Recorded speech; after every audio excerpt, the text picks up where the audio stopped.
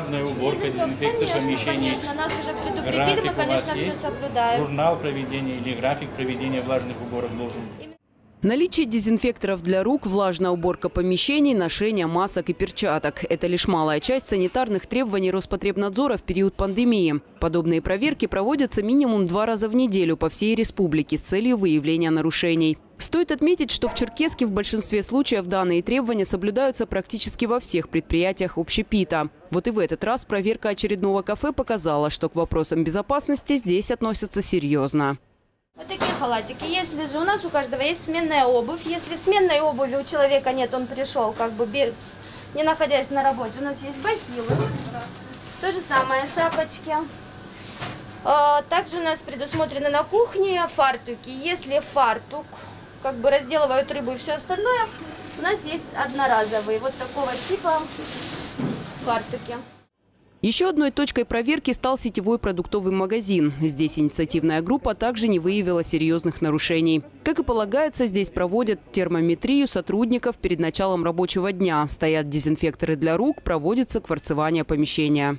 У нас произведена разметка полтора метра дистанции между покупателями, чтобы они придерживались.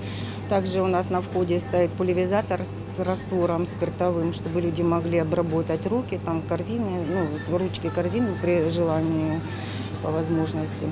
Потом у нас обеззараживается помещение, на всю ночь у нас включается кварцевая лампа, и в течение, когда людей нет только в этот период. По утрам мы проветриваем помещение свое, открываем двери.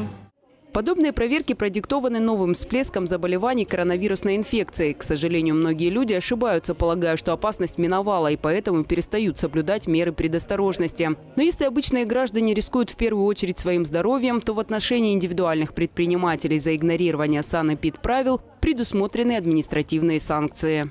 Вот в сентябре месяце нам, у нас уже проведено около 50 э, проверок. Э, выдано 24 постановления главного госврача о приостановлении деятельности объектов до устранения выявленных нарушений санитарных правил. Значит, э, в суд направлены 6 материалов о приостановлении э, деятельности, потому что приостановление деятельности осуществляется только судом. По итогам проверок три материала уже рассмотрены судом и по ним принято решение о закрытии данных объектов до полного устранения нарушений. Мадина Лайпанова, Мурат Кимрюгов, Архыз 24.